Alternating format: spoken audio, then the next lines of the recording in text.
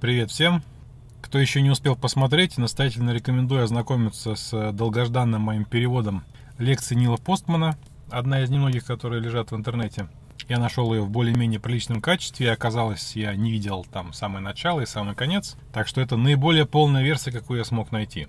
Мне очень нравится и вызывает очень большое уважение его манера рассуждения, размышления, и лишний раз подчеркну, что я считаю, что она применима далеко не только к технологиям, по крайней мере в обычном смысле технологий, которых мы это понимаем в повседневной жизни.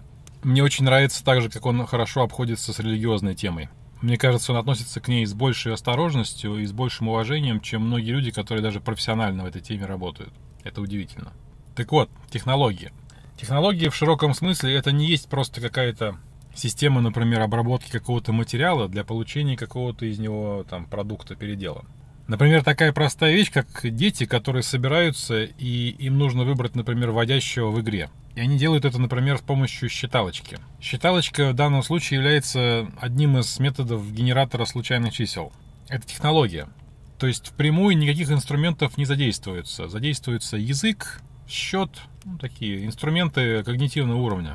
Но результатом является именно технология. Другой пример. Обслуживание через очередь. Стоит какая-то там торговая точка, и к ней стоит очередь. Очередь – это пример социальной технологии. Это технологии взаимодействия в обществе. Одна из множества технологий. Взрослые люди иногда между собой выбирают жребий с помощью спичек, там, да, короткая спичка и длинные спички. Еще один пример социальной технологии. К чему я это говорю? Я хочу продемонстрировать на таком значимом примере, насколько огромная сила заключается в вопросах Постмана. Ну, в широком смысле вопросах вообще. Тут лишний раз стоит сослаться и на Роберта Джонсона, и на многих других, кто говорит, что правильно поставленный вопрос содержит большую часть ответа. Сейчас я применю прямо вот как есть все шесть вопросов, которые Постман предлагает в своей лекции. Применю их хорошо нам всем в тематике мужского движения известному явлению. Я даже не буду отвечать на эти вопросы сейчас, потому что это могло бы превратиться в конференцию на неделю для нескольких сотен человек. Можно книгу написать, вот прям с такими главами. Просто в самой постановке этих вопросов уже заключается существенная часть ответа. И наверняка у кого-то сама постановка этих вопросов уже вызовет, что называется, боль в пятой точке. Потому что эти вопросы не в бровь, а в глаз. Вполне вероятно, что сам Нил Постман мог бы расстроиться из-за такого применения его собственной лекции, потому что я встречал его высказывания по гендерной тематике, он думал в другом ключе.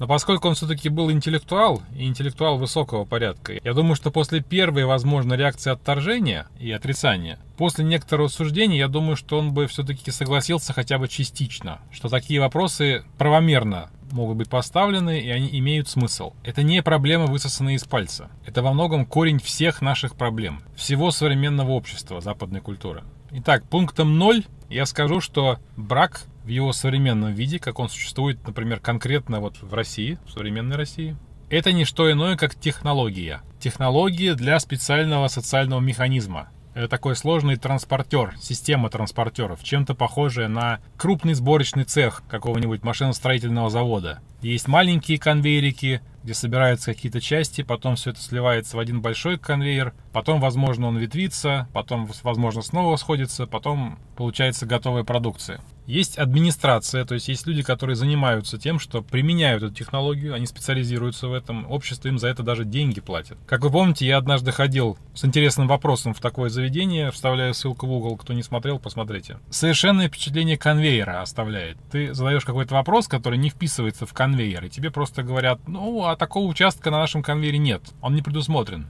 Итак, еще раз. Современная система гражданского брака, я имею в виду государственный брак, зарегистрированный в гражданских органах, это технология. И как только мы сказали, что это технология, про нее сразу же можно задать следующие шесть вопросов. Я даже не буду пытаться отвечать на эти вопросы сейчас. Просто поиграйте ими в голове.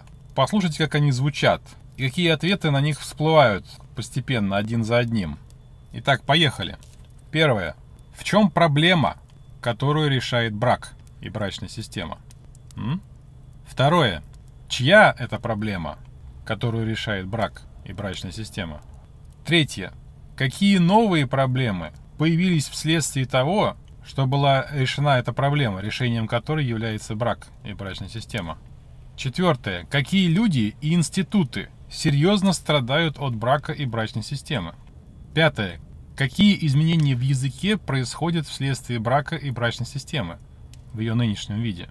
Шестое. Какие люди и институты получили особую экономическую и политическую власть через брак и брачную систему?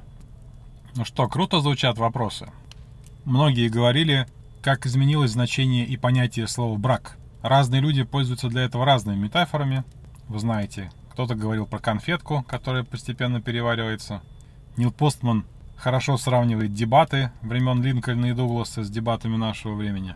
Но ведь съехало не только слово «брак», съехали слова «жена» и «муж», съехали слова «мать» и «отец», съехали слова «сын» и «дочь». Уж молчу про главу семьи.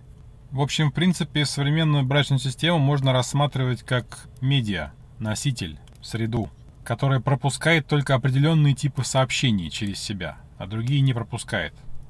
Подобно тому, как нельзя передать картинку через радиоприемник, примерно так же нельзя передать через брачную систему семью.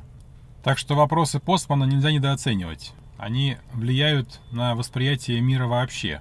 Когда я брал интервью у Керри Линда и отправлял ему ролики, ролики, нарезанные именно из этой лекции Постмана. Конкретно эпизоды про адаптацию и про расплывающееся значение слов. В определенном смысле мы адаптировались к брачной системе. Плохо адаптировались, но адаптировались. Но это еще не делает нас и все наше общество нормальными. И то, что людям после красной таблетки кажется удивительным и чудным, то, чего они раньше не замечали, чем-то похоже на рассуждение Постмана о музыке в новостях. 99,9% людей считают, что это само собой разумеющееся. Но иногда находится человек, который задает вопрос, а для чего оно здесь? Какую функцию оно здесь выполняет? А с чего мы взяли, что это нормально? Так что давайте продолжать задавать важные и правильные вопросы, потому что правильные вопросы очень сильно приближают нас к ответам. Всем пока и удачи!